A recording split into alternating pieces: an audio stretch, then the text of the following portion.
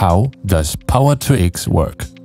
Water is used to extract hydrogen, which is then used to generate electricity from renewable sources.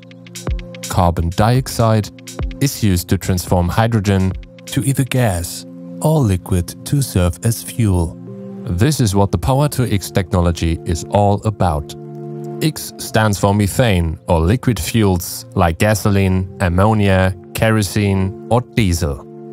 The conversion of renewable energy into synthetic fuels will allow the use of green energy for maritime transport, aviation as well as some chemical processes. The result? PTX can make an important contribution to international climate protection, reducing global reliance on petroleum and natural gas. For PTX to be truly climate neutral, binding sustainability rules must apply from the outset. This in turn ensures long-term investment security for PTX systems. PTX must be created using energy from new green power plants to ensure that CO2 emissions are decreased.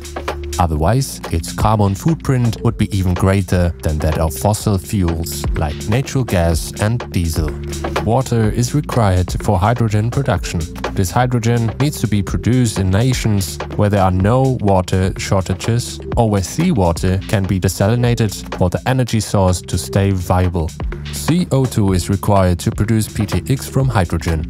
To reduce greenhouse gas emissions, the CO2 must be extracted directly from the atmosphere or through processes that use renewable biomass. It is the only way to create a CO2 cycle with ambient air.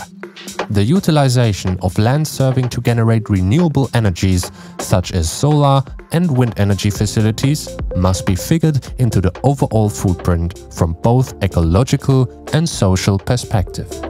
Many developing and emerging countries have the potential to produce energy from renewable sources. PTX could support them become more independent, for example, as energy exporters. But only if this creates local added value, they are able to realize sustainable profits as PTX produces.